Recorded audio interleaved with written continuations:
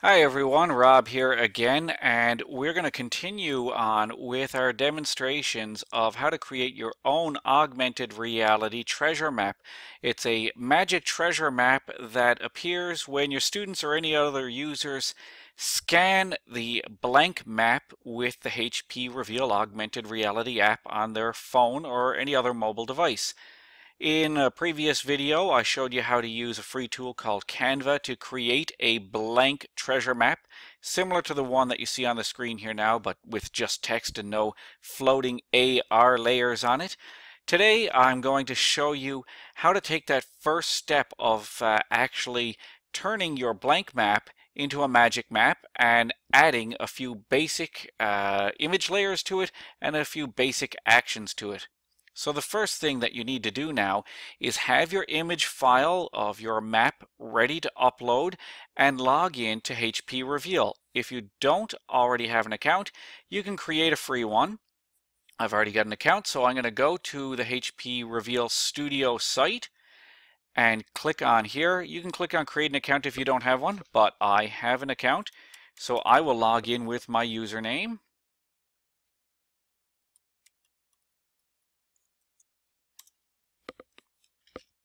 And once I'm logged in, I can start creating my treasure map. As you can see, I've got a few projects created in here already, but what I want to do is create what is called a new aura. So I just click on create new aura up here and I need to upload what will, what will be my trigger image. That's the image that students or any users will actually scan with their mobile device. Now I created that in the uh, last video and I have saved it as Treasure Hunt Demo, which is still here in my downloads folder. So I'll just upload that right here. And I want to give this uh, a name. So I think Treasure Map Demo is absolutely fine for this. And here's the name that I'm going to upload. I don't need any particular coordinates, anything like that uh, on here. I'm just going to upload this and hit save. Now, once your trigger image is uploaded, you'll see it on the screen here. It's looking fairly small at the moment because it's trying to show me the whole image. So what I need to do is hit uh, next. I can I can give this a name at this point, so I will. I will call this the treasure map demo. And I'm just going to put 2 on the end there because I'm not sure if I've used that name before. So I will hit next and it's going to zoom in on the map and now I can start adding layers to this treasure map. I can move around on my image here. You can see this is the image that we created in the previous video. And I want to add just a couple of basic images here. And I, to do that, I click on click to upload an overlay. An overlay is an image that will appear on top or an element that will appear on top. When you look at uh, this uh, option screen here, you'll see there's a number of options. You can upload videos, images, 3D models, audio files. I'm not going to work with anything as complex as a 3D model at this point. I'm just going to work with a video. And now I have to actually upload that from my computer. So I just click on Browse. And I can go to my folder where I have a bunch of images saved already.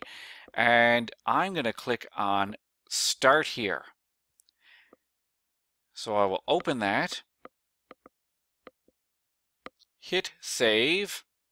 It's going to upload this overlay. Now it's going to make it gigantic on you and make it uh, as big as the whole thing. I don't really want to leave it that big. I want this just to be one small element on here. So I can drag this, resize it, do whatever I want with it and put it wherever I want. Usually I like my students to start up at the top in a logical place. So I've got my start here button for them.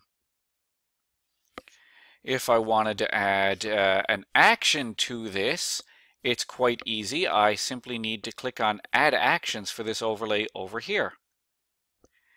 And I want this action to occur when the overlay is, is tapped. I'll click on add action and maybe in this case I'll load a URL. So I'm going to go to my YouTube channel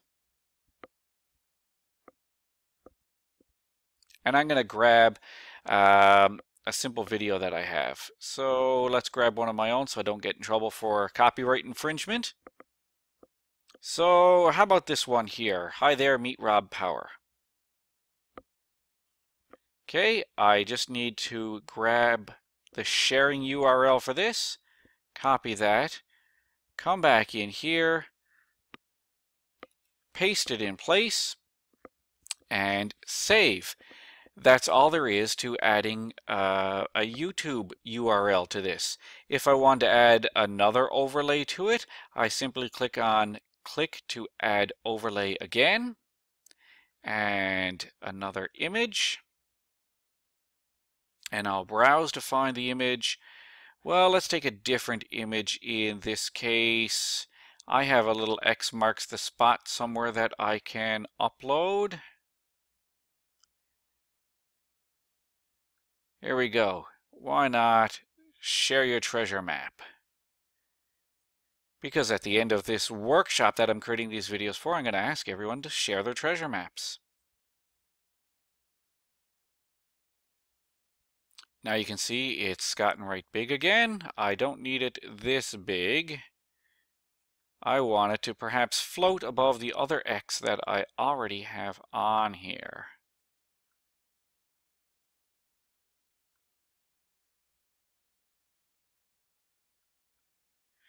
So there we go. I'll have it float over that. Now obviously they need to do something to get from point A to point B uh, after watching your start instructions. So you could perhaps add a, another layer. I'll add one more simple layer to this. That's going to be a static layer. So again, it's going to be an image. I'm just going to grab an arrow that I already have ready, a nice red arrow.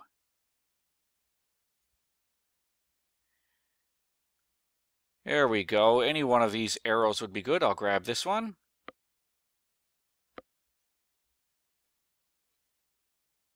So they're going to go from point A to point B on the map. And the map is going to show them which direction to head. So I'll have my arrow. I can stretch my dimensions on this however I see fit. And put it wherever I like on my map.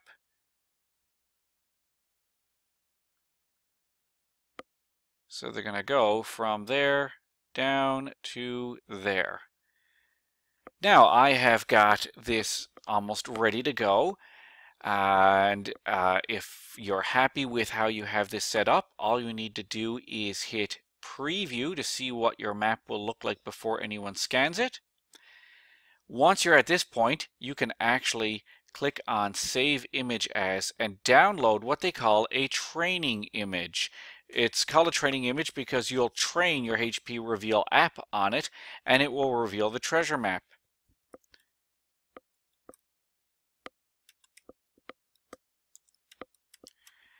And let's call this today's date, November the 5th.